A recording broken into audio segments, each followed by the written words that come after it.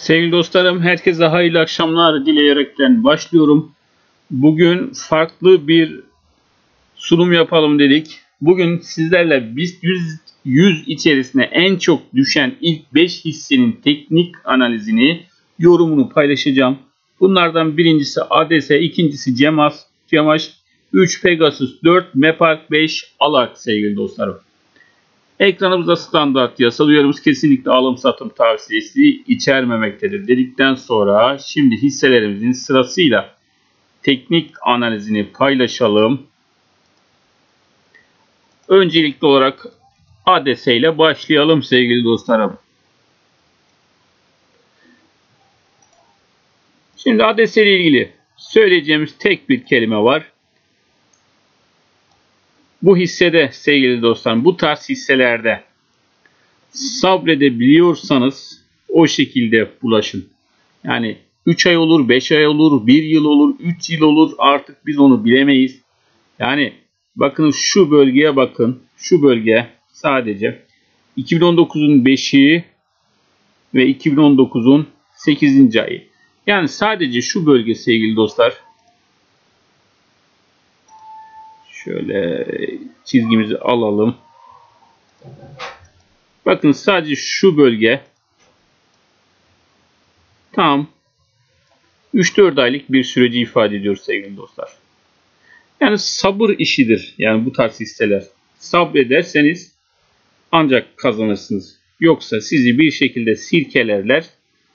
Artık sabrınızı taşırırlar. Aynen burada olduğu gibi. Sonra hisseyi 90 kuruşlardan 2,5 e, TL'lere getirirler ve burada sevgili dostlar tekrar bir kitlerler tıkır tıkır aşağı 1.600'ler tekrar test edilir.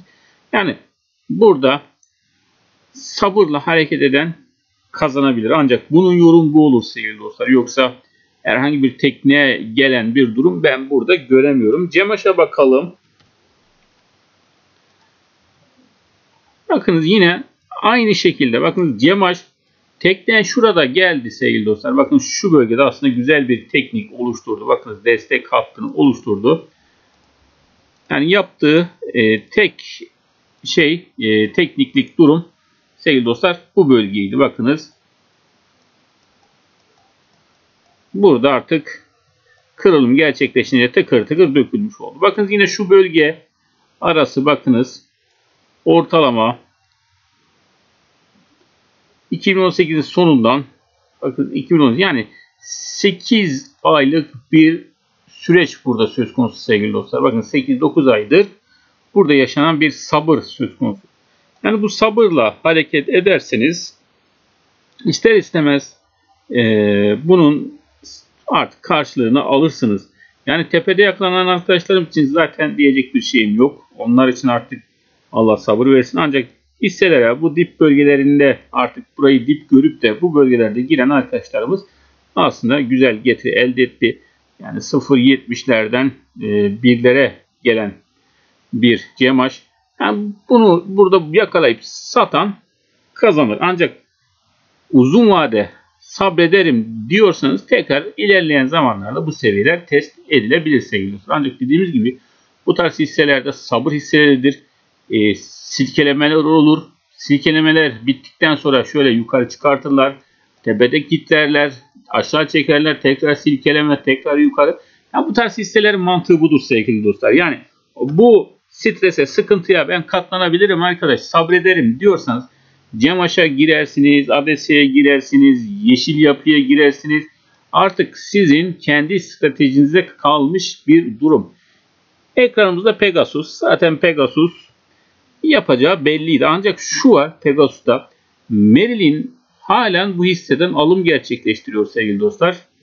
Yani işin ilginç kısmı bugün öğleden önce yine Merill'in alım üzerineydi. Ancak öğleden sonraki son tablosuna durumuna bakmadım. Şimdi e, burada bu destek bölgesi sevgili dostlar tekrar işleyebilir. Eğer yukarıda götürecekler ise sevgili dostlar yani bu bölgeden tekrar yukarıya verebilirler. Yani nihayetinde bir 80, 90, 100, 130 hedef fiyata hedef fiyat biçenler var. Yani artık bu hedef fiyatı burada sizlere malı kitlemek için biçtiler. O da ayrı bir mesele. Ancak gerçekten bu tarz bir hedef fiyat var ise de nihayetinde bakınız 57 bantları test edilip buradan bir hareket oluşturabilir sevgili dostlar. Takipte kalmak önemli ancak e, artık Pegasus ne yapacağı belli olmaz. Yani her an alanı da satanı da ters köşede bırakabilir sevgili dostlar. Yani şu anda teknik anlamda bir geriye düşüş öngörüsü daha kuvvetli olmakla beraber dediğimiz gibi Pegasus'un hem alımda hem de satımda ne yapacağını kestirmek şu an itibariyle bence en zor hisselerden bir tanesi diyebiliriz sevgili dostlar. Yani dediğimiz gibi bu e, düşüş 57 bantlarına kadar gelebilir. Eğer buralardan bir toparlanma söz konusu olursa tekrar değerlendirme içerisine alınır sevgili dostlar. Yalnız buradan yukarıya verip tekrar bakınız ola ki 72 bin seviyeleri test edilip burası aşılır ise bakın şuradan yukarıya verip bu seviyede aşılırsa artık Pegasus demek ki zirveye doğru gidecek demektir. Her halükarda 57 bine de gelse 72 bine de çıksa yani Pegasus epey insanın canını akıtacak, e, canını okuyacak diyelim. Canını akıtacak değil mi? Canını okuyacak gibi gözüküyor. Dikkatli olmakta fayda var Pegasus'a. Özellikle 30 dakikalık 1 saatlik e, grafikler bence iyi takip edilmeli Pegasus'ta. Evet, e, M Park, MLP Sağlık sevgili dostlar. Bakın daha önce e, destek olan böyle paralel çizgimizi çizelim.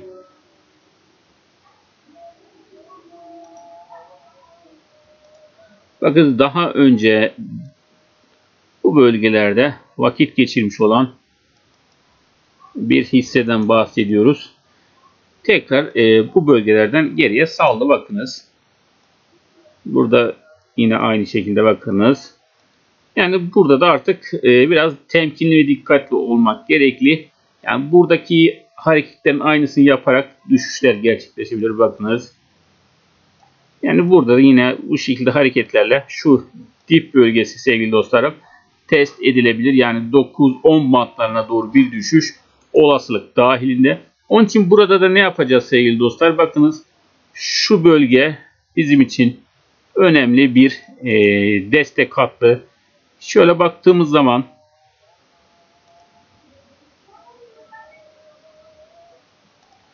bakınız şu bölgeye takip edilebilir.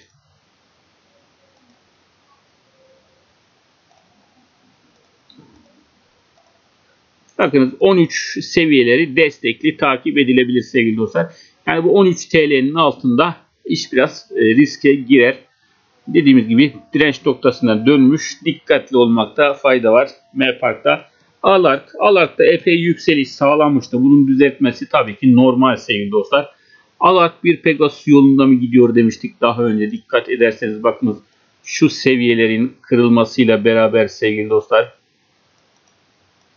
yani teknik anlamda Alark için hedef olarak bakınız şu yükseklik kadar e, yukarıya bir öngörümüz vardı. Bakınız.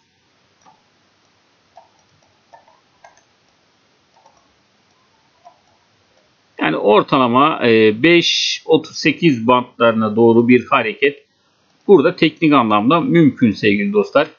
E, bu her ne kadar bir düşüş olsa da tabii ki bu sert yükselişin e, bir de düzeltmesi olacaktı.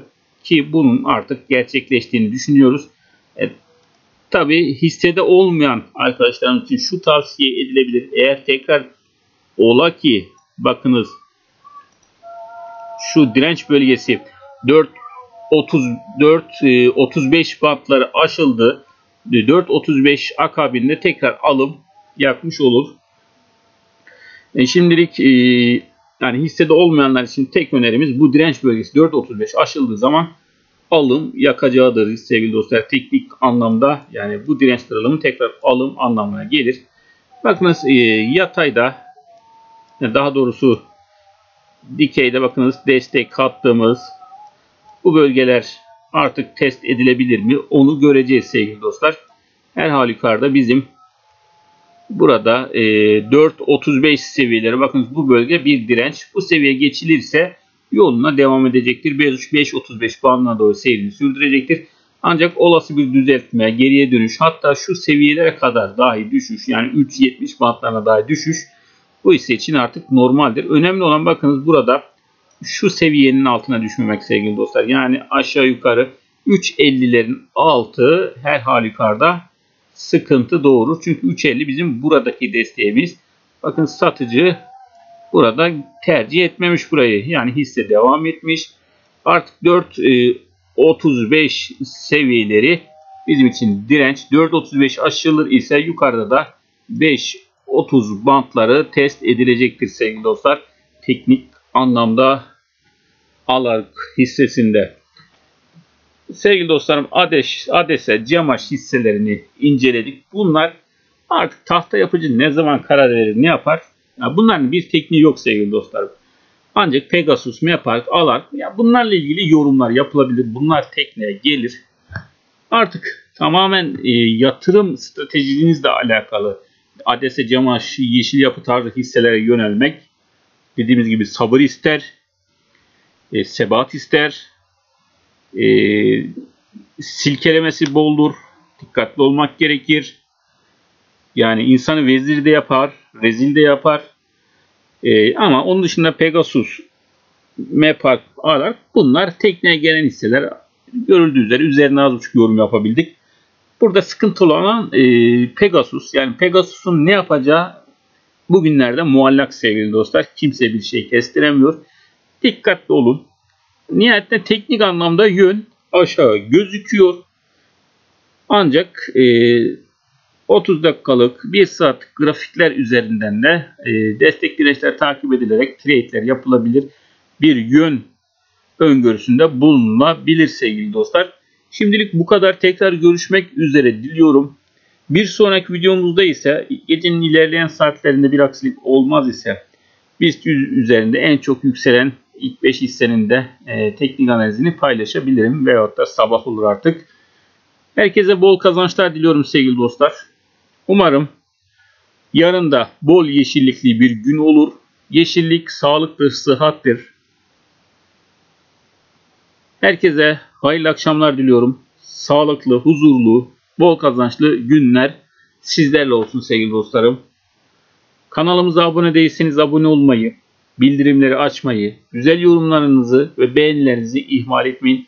E, sesle ilgili sorun olduğunu söylemişsiniz. Doğrudur. Bu sesle ilgili sorunu kısa süre içerisinde çözmeye çalışacağım. Şimdilik e, bu kadar diyelim. Tekrar görüşmek üzere.